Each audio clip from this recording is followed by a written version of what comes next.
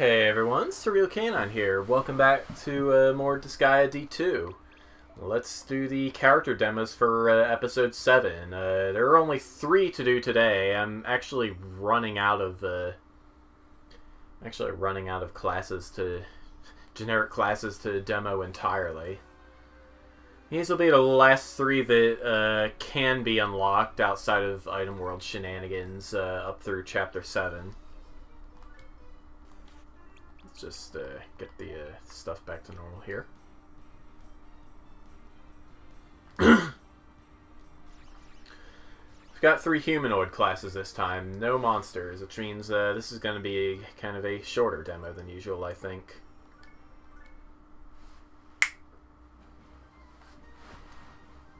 Alright, first up, we have the Onmyo Monk. Onmyo Monks are uh, returning from Disgaea 4, I believe.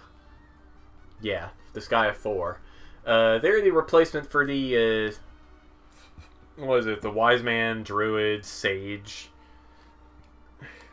Well, maybe not the Sage, but uh, that class. And what they do is they are all about geopanels. They're uh, they're mostly magical units. So you can see they uh, uh, they like staves and books, most of all. Uh, no natural S ranks among them. But their int and res are pretty high. Their attack is also uh, a decent amount. These guys could be pretty okay at anything, I suppose. Except tanking. 90% HP is uh, something, but I mean, who tanks in a Disgaea game anyway? Reveal it, uh, well, well, first of all, uh, you can see that they have uh, four tiers of star magic, two tiers of uh, healing. And they also got a couple of uh, skills that only work in the item world. Geo Change rearranges Geo panels and symbols. Uh, I think it only works once per item world floor, and it only works in the item world. Bonus Change changes the uh, end of level bonuses. Uh, you can use that repeatedly. Only works in the item world. Geo Blast destroys a, a Geo symbol, just uh, instant uh, death blow. Or rather, it inflicts a death blow on it. Only works in the item world, of course. And Geo Warp uh, allows our Onmyo Monk to just teleport. Could be useful for navigating the item world, I suppose. As for abilities, Geo Resist uh, nullifies damage from Geo Effects and Geo Chains, which is really good if you end up with something like, I don't know, the ally move damage. I bet you that's a thing in this game, and I bet you it's going to suck, but this guy can get around that.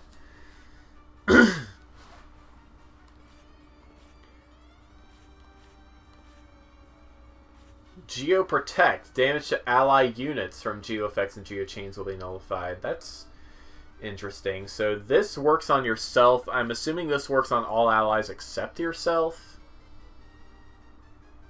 Maybe. Geo Damage. Increase damage dealt by Geo effects and Geo chains by 100%.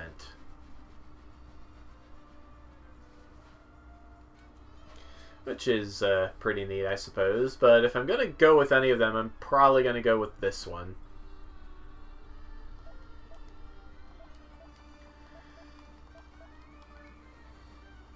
Yeah, what the heck. Let's show off it. Let's show off the Omega Star just while we're here.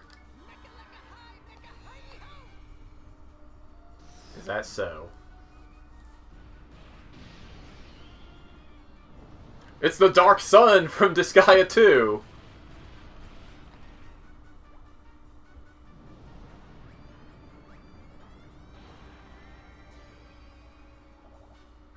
It would have sucked if he turned that uh, that Mothman or that ghost into a dragon.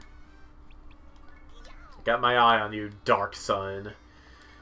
Shamans are a debuffing class. Uh, all of their abilities are passive debuffs, and uh, they also have some... Uh, well, let's uh, open up their page here. Yeah. Uh, int. Int and SP. That's their uh, that's their specialty. They prefer staves, as you can see.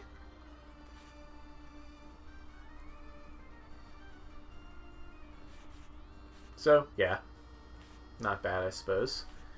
Anyway, uh, right. So their skills. Uh, you can see they learn two levels of star magic. Uh, they learn every debuff spell and every status spell. Which is pretty good. Uh, they definitely, their job is definitely a job that they do well. Now then, Cursed Dance is a uh, passive stat debuff to all enemies on the map. It stacks, so uh, if you bring in 10 shamans, you get a 50% penalty. It's pretty cool. Gloomy Dance makes status ailment spells 20% more effective. Note that this is different from the, the Mothman's uh, Miasma, which uh, just makes... Full of Miasma makes uh, status effects more likely to stick, whether they are inflicted by an attack or a spell, I think. Ominous Dance decreases evasion rate of enemy units by 20%. Very good to have if you're dealing with something that's a lot faster than you. Of course, uh, well, I don't know, yeah. Enemies a lot faster than you. You can have that without having a, whole lot of hit necessarily. So, yeah. Might as well, uh, well, I don't think I can reach, actually. Yeah, I can't reach. Alright, on to the next class. The Lady Samurai, uh, possibly also known as the Shrine Maiden.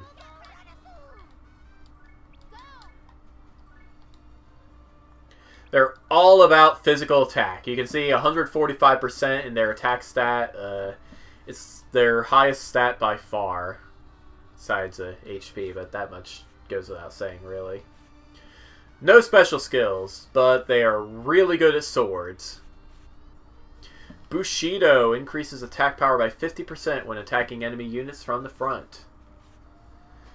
Calm Waters increases attack power by 50% against a single target.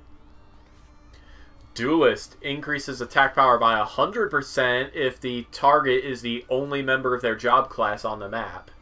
Good for uh, soloing, right? Good for uh, taking down bosses, I suppose. Definitely a class worth considering for raw offense.